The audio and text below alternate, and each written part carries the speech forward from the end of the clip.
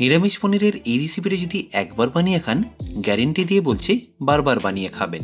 খুব সহজ পদ্ধতিতেও একদম ঘর উপকরণ দিয়ে রেসিপিটা করে দেখানোর চেষ্টা করেছি। এছাড়াও সাথে অবশ্যই থাকবে অনেক tips and tricks by the way আমি সে অতনু, আপনারা দেখছেন অতনুর রান্নাঘর, আর আজকে আমাদের রেসিপি নিরামিষ মশালা পনির। তাহলে রেসিপিটা শুরু করার আগে আমি এখানে একটু পনির কেটে নিচ্ছি। আমি এখানে সাড়ে তিনশো গ্রাম পনির নিয়েছি। আর এই পনিরগুলোকে আপনাদের কেটে নিতে হবে একটু ছোট ছোট ডাইস করে।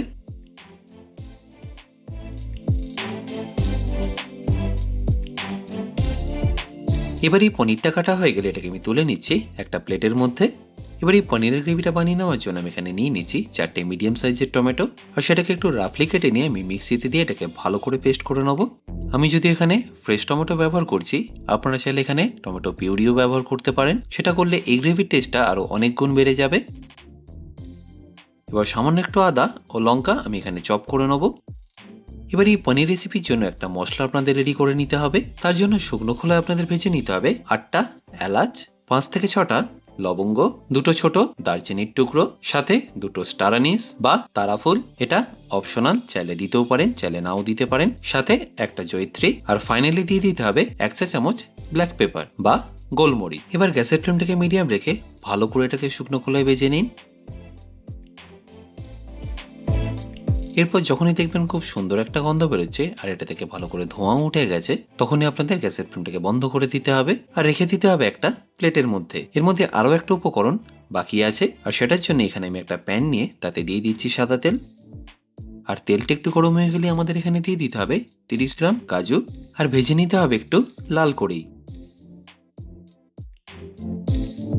আর ভালো করে ভাজা হয়ে গেলে এই ফ্রাই করা কাজগুলোকে আমাদের দিয়ে দিতে হবে ড্রাই মশলার মধ্যে, যেটা আমরা আগে থেকে রোস্ট করে রেখেছিলাম। আর এই সব কিছুকে আপনাদের মিক্সিতে ভালো করে ঘুরিয়ে নিতে হবে, কোনো রকম জল না দিয়ে। আবারও বলছি, এই পেস্টটা করার জন্য আপনারা কোনো রকম জল এখানে ব্যবহার করবেন না।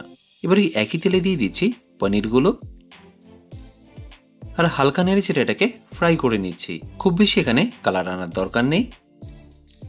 আর পনিরটা যাতে ফ্রাই করার পরে নরম থাকে, তাই এইভাবে আপনাদের এটাকে জলে দিয়ে দিতে হবে। এখানে আবার যেন আপনারা ঠান্ডা জল নেবেন না রুম টেম্পারেচারে জল নিলেই হবে। এবার আবার ওই পনির ভাজার তেলে আমি দিয়ে দেবো এক চা চামচ মৌরি, হাফ চা চামচ গোটা জিরে, কুচনো আদা আর ঝালের জন্য কাঁচা লঙ্কা। এবার এই সব কিছুকে এক থেকে দু মিনিট একটু ভালো করে ফ্রাই করে নেবেন। আর তারপরে এখানে দিয়ে দিতে হবে মশলাগুলো। আর মশলার মধ্যে লাগছে এক চা চামচ হলুদ, দু চা চামচ কাশ্মীরি লঙ্কার গুঁড়ো আর এক চা চামচ ধনে গুঁড়ো। ব্যাস, এখানে আমাদের আর কোনো মশলা লাগবে না। মশলাটা এক দুবার ভালো করে মিশিয়ে নিয়ে আমরা যে টমেটোর পেস্টটা করে রেখেছিলাম, সেটা এখানে দিয়ে দিচ্ছি। একমাত্র এই প্রসেসে করলেই এই গ্রেভির কালারটা এতটা সুন্দর আসবে। আপনারা যদি টমেটোটা দেওয়ার পরে মশলাগুলো দেন, সেক্ষেত্রে কিন্তু একদম এরকম কালার আসবে না। তাই এই ছোট ছোট টিপসগুলো আশা করি আপনারা নিশ্চয়ই ফলো করবেন। এবার এখানে সামান্য নুন আর চিনি দিয়ে দেবেন। এতে টক ভাবটা ব্যালেন্স করা যায়। এবার এই টমেটোর আমাদের পারফেক্টলি কুক হওয়ার জন্য মিনিমাম দশ থেকে পনেরো মিনিট এটাকে ভালো করে ফুটিয়ে নিতে হবে। যেহেতু এটা এই সময় একটু বেশি ছেটকায়, তাই এটাকে ঢাকা দিয়ে করে নিতে পারেন। আর এখানে বলে রাখি, আমার এয়ার কিচেনের সব ইউটেন্সের লিঙ্ক আপনারা ডেসক্রিপশন বক্সে পেয়ে যাবেন। আর অ্যামাজন থেকে এটা আপনারা ইজিলি কিনে নিতে পারবেন। আশা করি নিশ্চয়ই দেখতে পাচ্ছেন, এর থেকে তেলটা কতটা ভালোভাবে ছেড়ে দিয়েছে, আর এতক্ষণে টমেটোটা বেশ ভালোভাবে কুক হয়ে গেছে। এবার এই স্টেজে আমাদের দিয়ে দিতে হবে, আমরা যে কাজুর পেস্টটা করেছিলাম, সেটা আশা করি নিশ্চয়ই দেখতে পাচ্ছেন, এটাতে জল না দেওয়ার কারণে খুব স্মুথ একটা পেস্ট হয়েছে। এবার এই পেস্টটাকে আমাদের দিয়ে দিতে হবে এই টমেটো গ্রেভির মধ্যে, যেহেতু এর মধ্যে সব মশলাগুলো রোস্টেড ছিল, আর কাজুটাও ফ্রাই করা ছিল, সেই জন্য আপনাদের এখানে খুব বেশিক্ষণ কষতে হবে না। মোটামুটি পাঁচ থেকে সাত মিনিট কষে নিলেই হবে। এই কষানোর সময় গ্যাসের ফ্লেমটাকে একটু লো করে দিয়ে এখানে দিয়ে দিতে হবে দু চা চামচ টক দই আর এটাকেও একটু গ্রেভির সাথে খুব ভালো করে মিশিয়ে নিতে হবে। এই দইটা গ্রেভির সাথে একবার ভালো করে মেশানো হয়ে গেলে এবার আপনারা গ্যাসের ফ্লেমটাকে হাই করে দেবেন আর তারপর এটাকে আপনাদের মেশাতে হবে যতক্ষণের মধ্যে থেকে তেলটা ছেড়ে আসছে।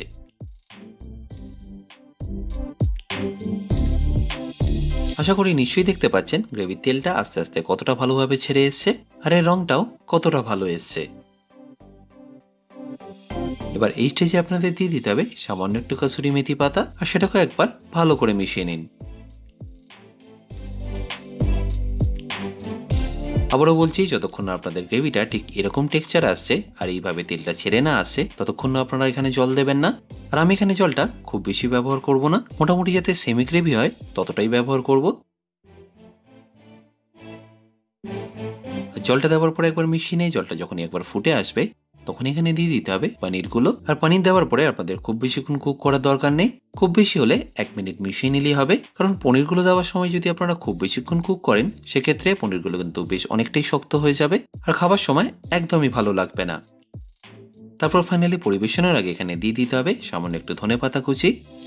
আর একবার ফাইনালি মিশিয়ে নিলেই নিরামিষ মশলা পানির কিন্তু পারফেক্টলি রেডি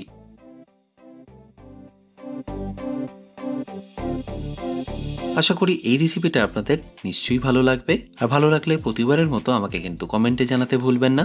এছাড়াও আপনাদের কাছে আরও একটা রিকোয়েস্ট রইল এরপরের রেসিপি আপনারা কি দেখতে চান সেটা আমাকে অবশ্যই কমেন্টে জানাবেন। যাতে সেই রেসিপিটা আমি আপনাদের খুব তাড়াতাড়ি করে দেখাতে পারি। বাই দ্য ওয়ে আমি শেফ অতনু আপনারা দেখছিলেন অতনু রান্নাঘর। দেখা হচ্ছে আপনাদের সাথে আর একটা নতুন রেসিপি নিয়ে নেক্সট এপিসোডে ভালো থাকবেন, সুস্থ থাকবেন।